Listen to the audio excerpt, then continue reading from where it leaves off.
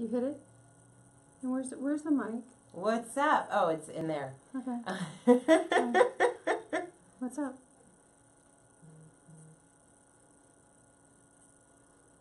so, yeah, there we go. Okay, now we're live. Okay.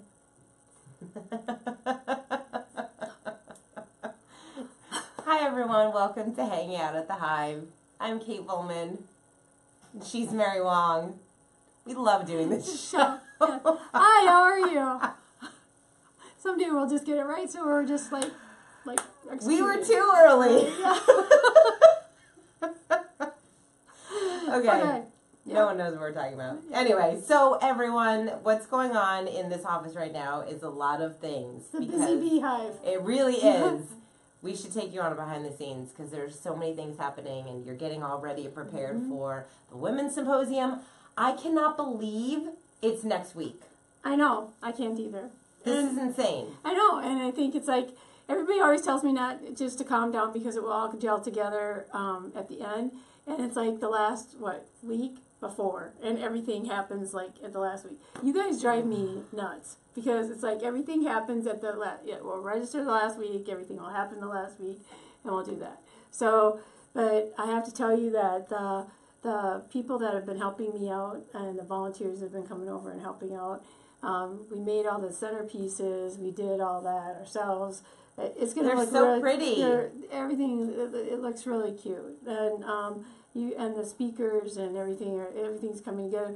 But we got a very nice compliment yesterday. I was at the Boca luncheon, um, and Nancy Prophet runs a, a luncheon, and she said whoever the all the social media and everything that they've been seeing on the um, everything, uh, they said they were playing a um, Scrabble game, and all of a sudden our, our social media popped up while they were playing their Scrabble game, and they said that's good media, and so it made them think about buying a ticket. So I Good. said, good, that's a good thing. So we hope that you're all going to join us on the thing. So we have, uh, and I, I think it's what eight days out. Yeah. So. Eight days. hmm So I think Till it- amazing happens. and I think that's uh, the other thing. A lot of people that I was with yesterday were like, "Well, again, why should I go? What should I do?" And I and I don't think there's like one really great answer for that. I think it's more of the value that you get for. The, it's like, why wouldn't you go? It's the reason of of the ability to meet these all the people that you get to meet because every year there's new people that go Mhm. and it's who and and I would say to you, it's the ability to meet um, new people and um, what do you want to get out of it. Um, and our guest, uh, we we were um, uh, very Saturday, early Saturday morning going on TV, and we got to do some things on that. I know people were like calling me. They're like, "I saw Mary on TV."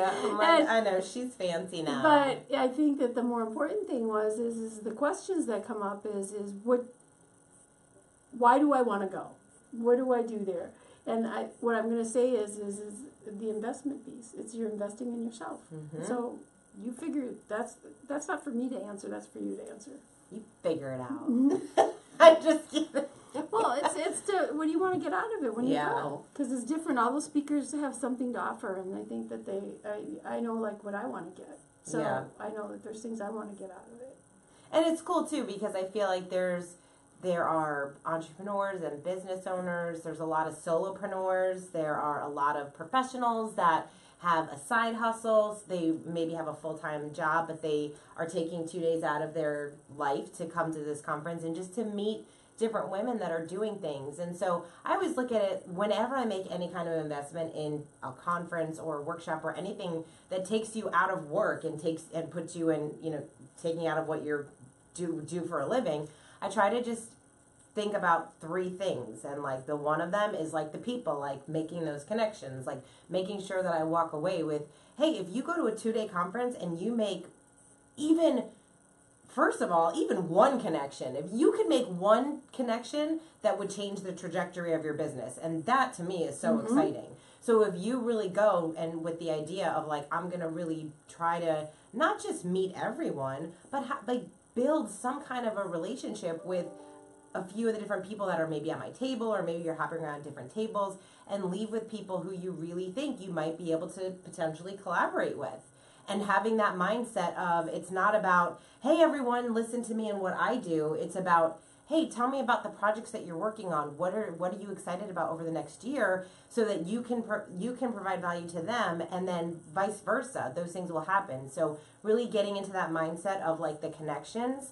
Um, and then also the second thing is really from the speakers even if again like you hear one you're going to hear a lot of speakers and some of them will really resonate with you and you're just going to love everything that comes out of their presentation and others maybe one thing that they say just one thing that they say like kind of makes that shift for you or they give you some kind of a resource that can change your your mm-hmm. business or change your life or change your perspective.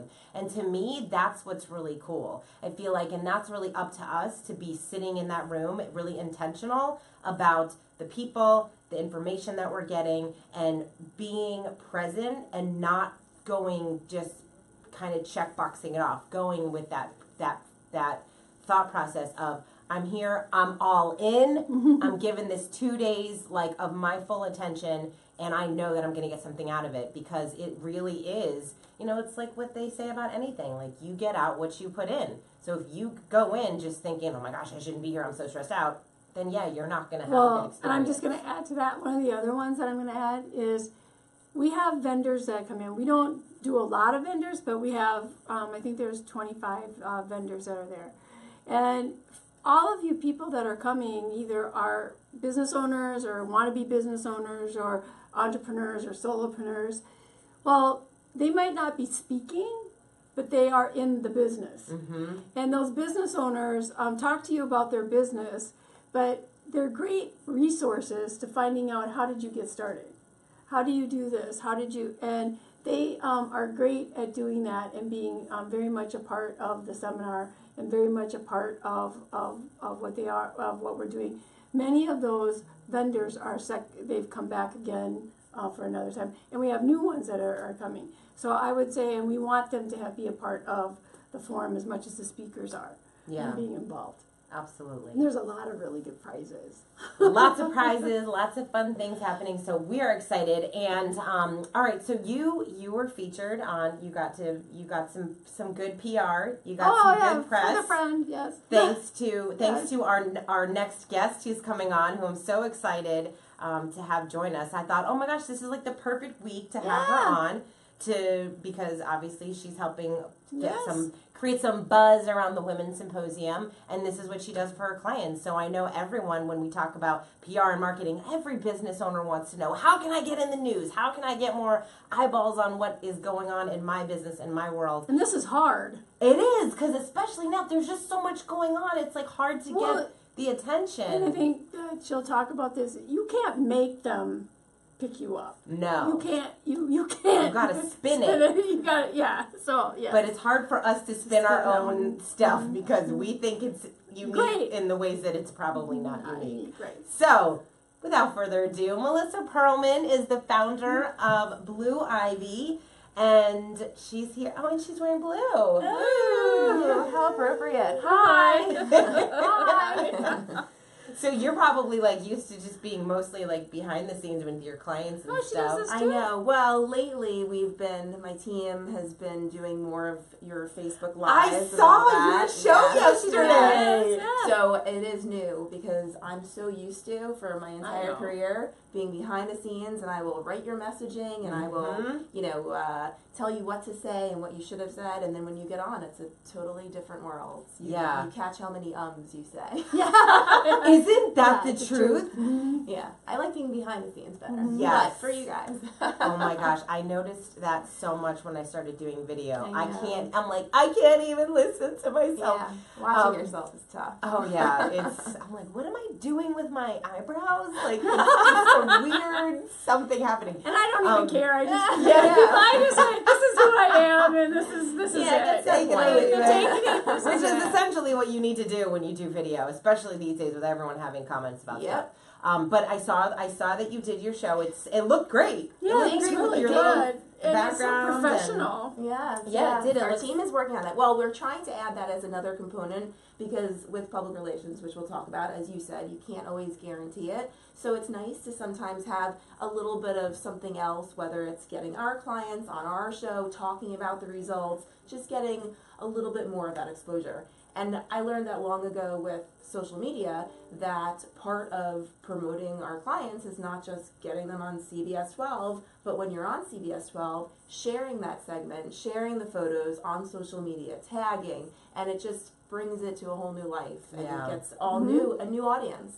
Um, and it's worked for me since you know since the beginning of when I started of using social media for you know marketing, for advertising, for connecting, networking. Um, so we're trying to do a little a little more of that. Um, you're not trying. You're doing. you are doing it. So we got a lot is- of. Inf- I mean, that that social that piece for the Channel Twelve. Yeah.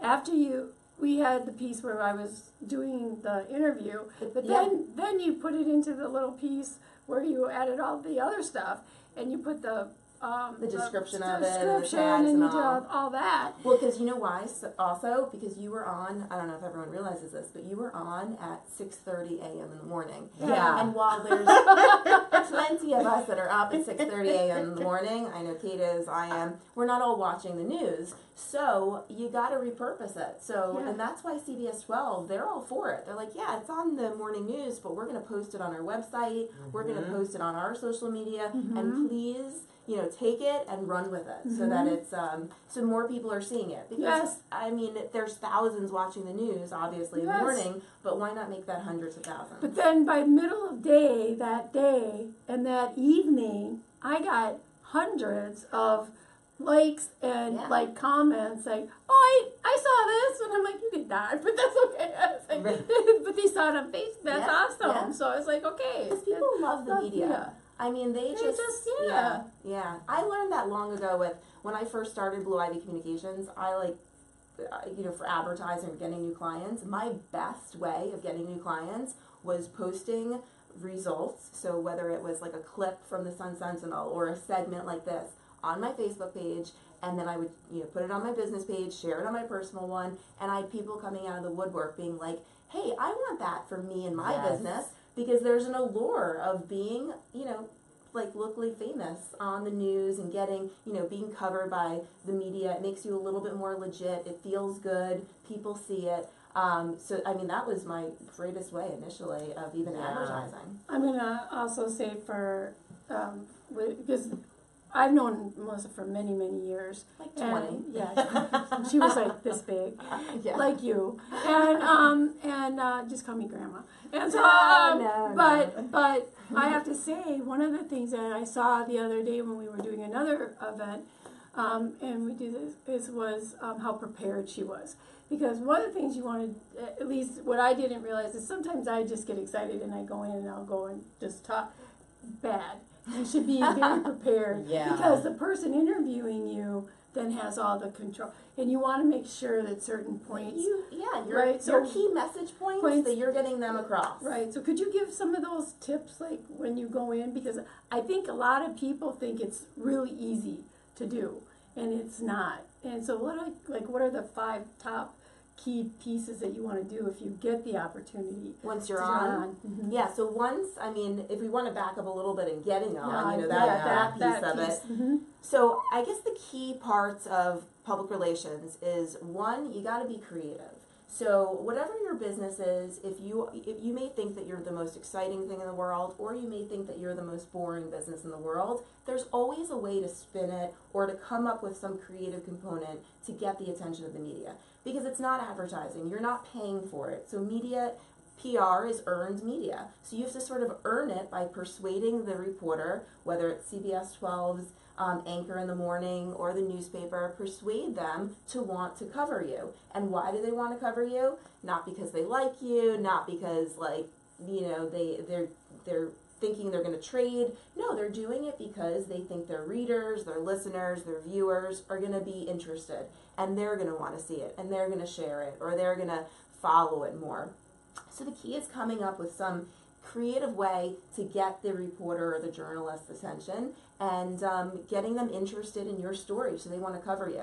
And a great anecdote that I have on that that I, I like to share, and I think I told you this once, but I had a client, and this was a couple of years ago, um, and they were a dry clean delivery client, and you know them. Yeah. Um, and they opened up this business that basically, you know, the dry cleaning, they pick up your dry cleaning from your office or home in a bag, and then they clean, you know, bring it to the dry cleaner, clean it, and then they bring it back. It's delivered on your doorstep. So it's pretty efficient in terms of timing and and um, cost efficient, time efficient. You don't have to bring it to the dry cleaner, etc. But two or three years ago, there were a lot of these dry clean to go type places. It was almost like um, um, serve yourself uh, frozen yogurt. Like they all, you know, they exploded everywhere. Everywhere you look, Yeah, there's so one of them, overloaded. which I enjoy, the yogurt. But anyway, so you know, it's like putting it out there to the media. It wasn't new anymore because there were other ones doing it. So we couldn't really pitch it as, hey, this is a really innovative business idea because there were three others. Now, maybe could we have gone for like the trend that this is the new trend that dry cleaners are coming to you rather than that's interesting. But then it's more of an overall piece and you're bringing exposure to the media. So then you're going to get some of your, um, yeah, your competitors are going to get some of that exposure. So what we ended up doing was we crafted a social media contest that we put it out there just on social media, um, and a couple of media picked it up initially. Um, that's asking people to say what they'd rather do with the time saved. So I'd rather be blank than dropping off my dry cleaning. So I'd rather people were submitting comments like I'd rather be dancing, I'd rather be walking my dog, I'd rather be running, I'd rather be whatever it was, spending time with family rather than dry cleaning. And automatically by participating in the contest, you were put in the running to win a month of free dry cleaning services. So put it out, it got exposure. Then the Sun Sentinel picked up the contest. So they wrote a whole article and interviewed the owners about this contest going on. And it was all, you know, obviously at the end of the contest it said, and, you know, this business is called this and this is how you reach them and, and find out more. Mm-hmm. And that got the the article, the media exposure. So sometimes you gotta like take yourself out of it and be like, okay, I'm not gonna get exposure for my business, but maybe there's some other element, and then they'll mention it. So um, it, sometimes we try to do that with um, events a lot, Uh-huh. like you know, even the women's symposium. Like try to get the exposure on you know you as the founder of it, of the foundation, of the changes with the foundation happening over the last year, and then in a little box on the bottom have them mention, by the way, there's a symposium happening, and it's happening May third and fourth, and so on. So that's number one. It's just being creative, taking yourself out of it, not assuming that you can just call the local newspaper and be like, "Hey, I just um, started a law firm, and you should cover me." Because you know, what are you doing? Are you giving? You know, are you hosting a free event? Um, are you um, providing? Um, uh, some unique angle. Mellow Mushroom, a couple of years ago, we did some cool, you know, Mellow Mushroom has been there, great business, but why are they going to be written about? Well, it was um, like Vegan Day, National Vegan Day. So we hosted an event and invited all the vegan um, organizations and people that practice that with their food, um, and then highlighted the vegan component components of the menu, um, or gluten free, or what you know. It's somehow spinning it in a way that um, it gets the media's attention. What I just want to add with that because I think it's so great, and I feel like it's like anyone can kind of reverse engineer because you it starts with the consumer. Like they Mhm. had to. So of course it, you wanted to get picked up by the media, but they, they the the you guys had to figure out what is the what are people actually going to care about enough to submit Yeah. like on social media because Yeah. especially these days like now with everyone having their like 30 day challenges or asking Yes. questions there's just so Yes. much going on Yes. it's like it really has to like tug at the heartstrings or Yep. something that people can Mhm. really get behind Yep. to even submit something Exactly. and so then you have um, the idea of then somebody from the media seeing it and i want i would love to hear your thoughts on just how things have changed so much with media because we do have so much exposure to Yeah. the news anchors and Yep. all the different publicists and, and they're really searching for this kind of stuff because they have to create the great stories Yeah, exactly. So that's like the second piece. Second piece would be relationships. And that's where, you know, I tell people all the time that you can, there's a lot of public relations you can do on your own. You can pitch, you can call them, you can come up with these creative s- stories. Um, and then at the end of the day, why do you hire an agency or why do you work with someone? It's those relationships. So with myself and my team, we are talking to the media all the time. So you're sort of like in their face, offering them up ideas for different clients, and then they come to you to say, hey, we're looking for XYZ. Um, and that's like the second part of it. Having those key relationships whether it's following you know the reporters that i want to be in touch with and get my clients exposed to on social media liking what they're posting being engaged when they're posting because they all have their own facebook pages now. So not just using them for when you need them but really making it a partnership and a relationship. And a great example of that is i have a reporter in at the palm beach post that I have such a great relationship with that whether I'm going to him and pitching my clients that are appropriate to him, or he's coming to me and saying, Hey, I have to write an article on XYZ for next week, who do you have? And regardless if I can meet the needs with a client or if I have to go on Facebook or to my friend groups and be like, hey guys, does anyone know? I will make sure that happens because it's a give and take relationship. Mm-hmm. And you know, reporters are so overwhelmed these days. They have, you know, there there's less reporters um, at the news stations or at the, um, Yeah, that was yeah. you know, they're all there's many people leaving the business or losing jobs. So there's less of them, but there's just as much coverage happening, and they have to be on it 24 seven because not only are they producing a print version or the broadcast, but they're on Facebook Live on the computer. They're doing online stories. So they constantly are in need of engaging stories and they need our help as PR people. So it becomes like a give and take relationship of of making sure you're helping them and Yeah. exactly what you were saying, like make sure you're available to them when they need something.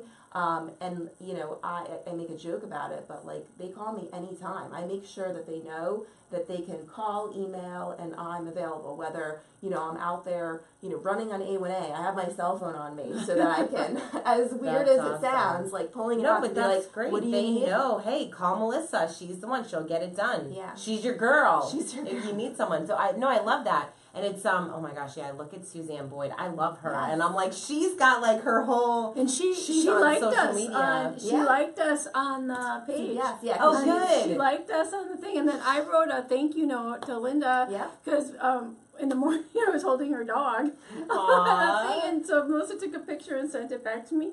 But I sent it to her. Oh, you did? I did, and I just said thank you for for That's the funny. more, and I just yeah, said Linda, thank you. Linda Figueroa, who interviewed Mary, um, you know, the station is pretty It's- empty in the it's morning. the So her us. dog was back in like the room with the producers, and the second that we got there, it was in um, Mary's arms, um, and Aw. I was like, at some point, um, we're gonna have to go on stage and Sparky's gonna have leave to the stay dog. here. oh my But- gosh, that's Exactly. But funny. I said that. Um, but the other part is is is I think too that um, the the TV stations and all that are great. But like yesterday, um, one of the other things is is is the community pages. Yeah. And, and getting that calendar items and and posts. posts and.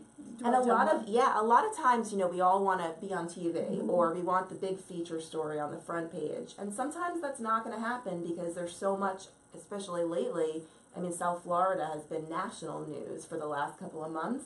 Um, so it's hard to get that front page exposure sometimes. So sometimes you have to be okay with, okay, we're gonna need a calendar item. So we're gonna, and those are often easier. You're submitting to calendars, community calendars, business calendars, getting it in there. You're submitting photos to society sections to get those picked up either before the event or after the event. Sometimes, like the, there are mechanisms that the newspapers have put in place, which is really nice, to highlight functions, events, people, businesses that don't require a reporter calling you on the phone and doing an extensive Mhm. interview or sending a photographer. And sometimes, you know, that's you got to live with that because they're busy or it doesn't fit in with the timing and you just take advantage of that. And as we were saying before, you just share that on your social media just as much as you would with that segment on CBS or that front page cover on the Sun Sentinel. So you just have to really repurpose the media and Yeah. get exposure for it and then it brings more attention.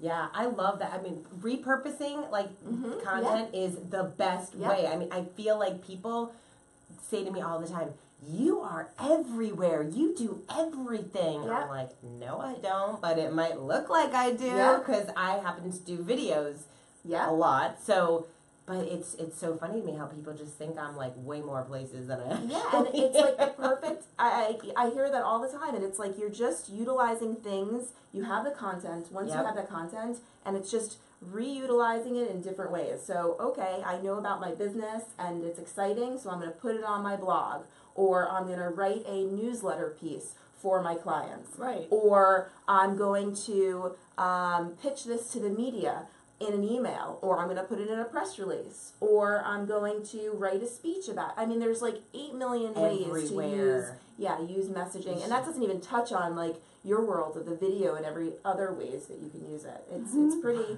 it's pretty amazing. Hmm. Mark said Mar- Mary is the dog whisperer. Yeah, Oh, stop. Oh, Valentina said, Mel, you did an amazing job for our business. yeah, Media. yeah. That's yes, cute. she does. Valentina's great, Yeah, Very she is. nice. It's great.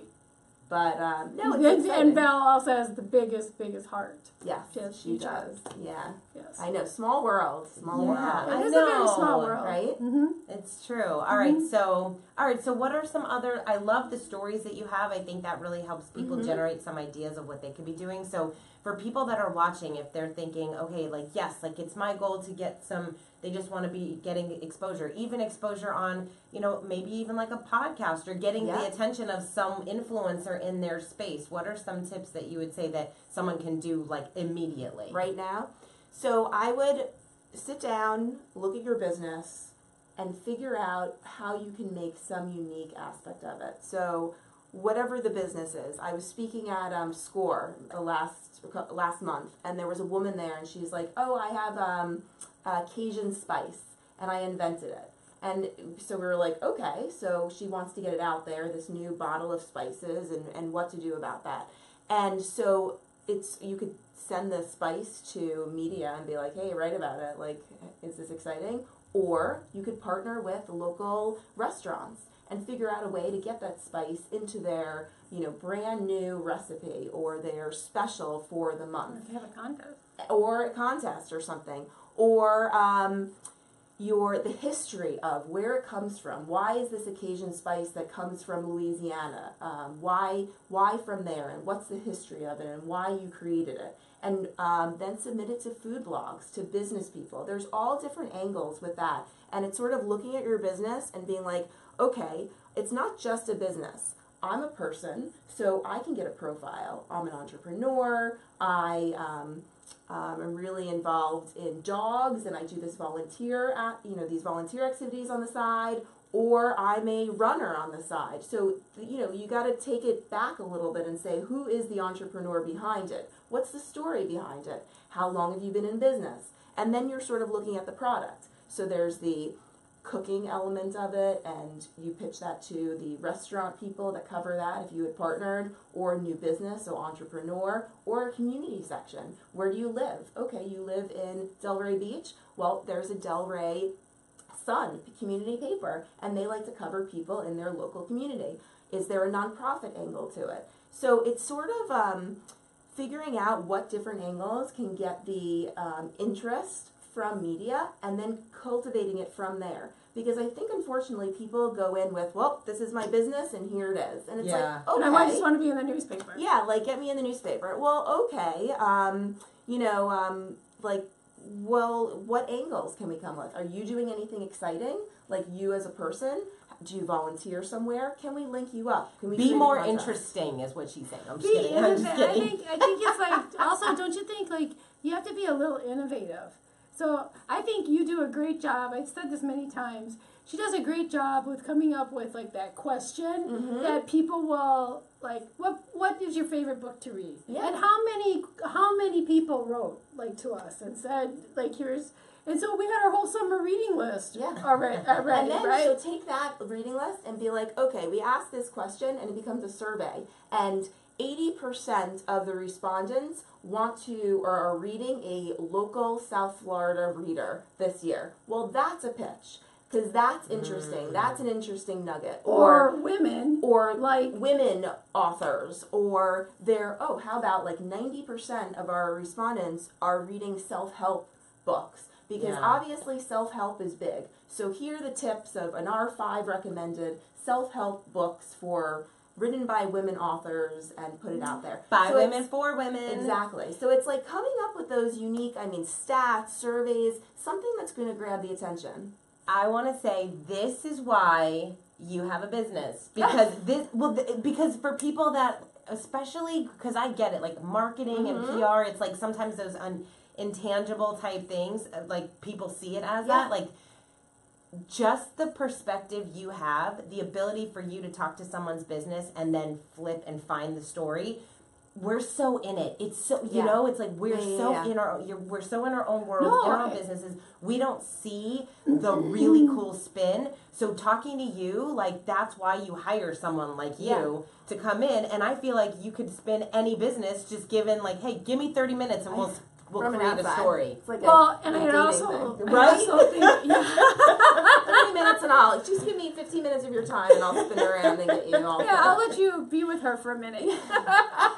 but um no and it's coming up with that and then the next piece of it just so people know what they can do on their own because there is a lot of it that you Yeah. can do on your own um that go and you know figure out read the paper and that's what media outlets like i meet with last week we were meeting with reporters and the week before and they say like read up you know you can't just be like calling the paper and being like hey who do i pitch this to? No you gotta read the paper. I mean i get i'm like probably one of the only people in delray beach that gets like the palm beach post the sun sentinel every magazine because you gotta definitely like if in your age range probably.